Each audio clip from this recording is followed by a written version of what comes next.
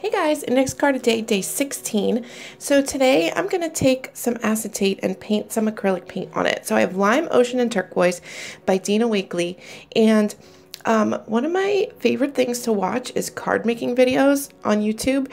And um, I don't know, I guess it's just because it's something that I can't personally do. Like I love those kind of clean and simple cards with like the white backgrounds. I, I could never do that. They end up with a black spot on them even if I'm not using anything black. It's just not in my wheelhouse, but I love watching the videos. So I saw a video by Carissa Wiley. I will link her down below.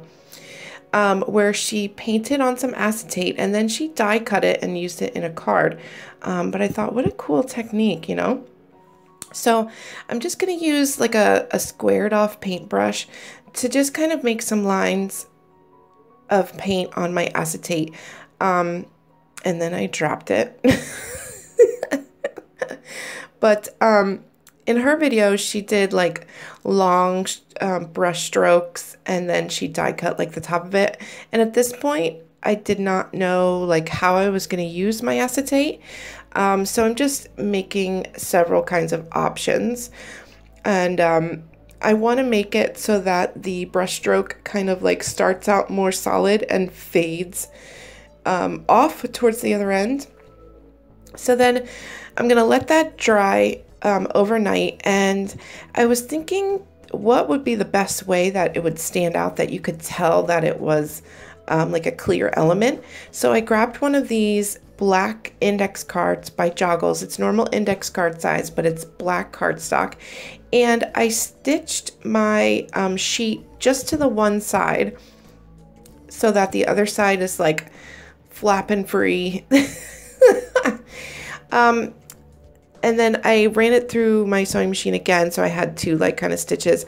I didn't really know what I wanted to do to finish the card off because um, I really wanted the acetate to be the star of the card, so I didn't want to add like too many things.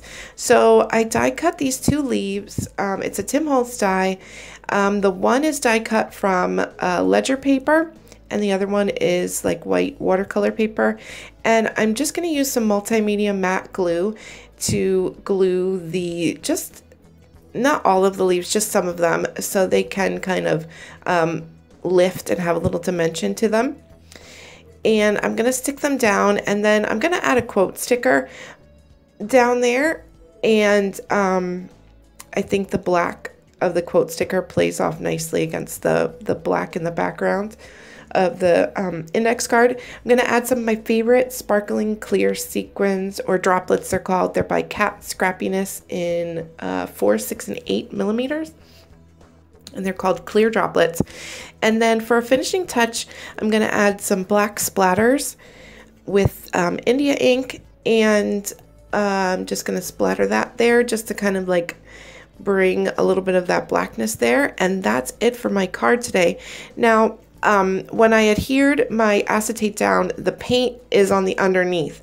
Um, it will kind of scrape off if I'm not careful, um, even though it is on the underneath. Um, but, you know, it's really not that big a deal. So that's it for my card today. Thank you so much for watching, and I will talk to you guys soon. Bye-bye, guys.